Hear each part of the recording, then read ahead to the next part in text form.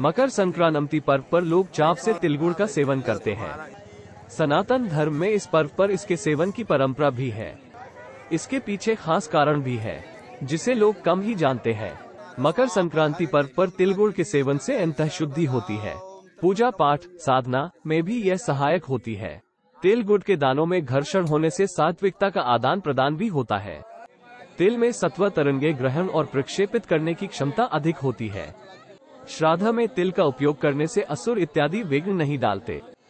सर्दी के दिनों में मकर संक्रांति पर्व पर तिल खाना लाभप्रद होता है। इस दिन तिल का तेल एवं उपतन शरीर पर लगाना, तिल मिश्रित जल से स्नान, तिल मिश्रित जल पीना, तिल होम करना, तिल दान करना, इन छह पद्धतियों से तिल का उपयोग करने वालों के सर्व पाप नष्ट होते हैं। भारतीय संस्कृति, प्रकृति और जीवन मूल्यों में भी मकर संक्रांति खास है। इस दिन सूर्य धनु राशि से मकर राशि में प्रवेश कर उत्तरायण हो जाते हैं। इस दिन से प्रकृति वसंत की ओर बढ़ती है। उत्तरायण में मृत्यु हुए व्यक्ति की अपेक्षा दक्षिणायन में मृत्यु हुए व्यक्ति की दक्षिण, यम, लोक में जाने की संभावना अधिक होती है। प्रत्येक धार्मिक कार्य के लिए उत्तरायण शुभ माना जाता है, इसलिए महाभारत युद्ध के दौरान भीष्म पितामह ने अपने देह त्याग के लिए उत्तरायण को ही चुना था। माना जाता है कि इस दिन सूर्य भगवान अपने पुत्र शनि से मिलने उनके घर जाते हैं। इसी दिन भागीरथ के प्रयास से माँ गंगा का धरती पर अवतरण हुआ था।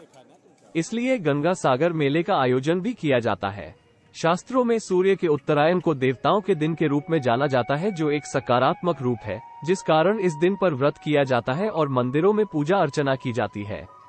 इस दिन नदियों में स्नान, पूजा, दान का भी महत्व है। अलग अलग स्थानों पर मकर संक्रांति को अलग अलग नामों और तरीकों से जाना और मनाया जाता है, जैसे दक्षिण भारत में पोंगल, उत्तर भारत में लोहड़ी इत्यादि। श्री राधे, जय श्री कृष्ण। आज मकर संक्रांति के पर्व पर सूर्य भगवान धनु राशि से निकलकर मकर राशि में प्रवेश करते हैं। इस समय सूर्य भगवान की प्रसन्नता के लिए तिल, गुड़, अन्न धन वस्त्र आदि का दान देकर भगवान सूर्य को प्रसन्न किया जाता है और इस परम पवित्र घाट पर, परम पवित्र गंगा यमुना सरस्वती मैया जी के संगम घाट पर स्नान करके ब्राह्मणों को उचित दान देकर उनका आशीर्वाद प्राप्त करके अपना और अपने जीवन और पितरों का उद्धार करने के लिए यह पर्व मनाया जाता है।